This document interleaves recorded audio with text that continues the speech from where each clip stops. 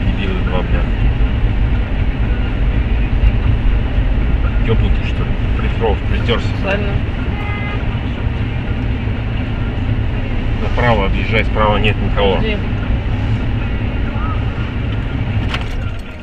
Ну ты же Он специально еще. его ударил. Больно.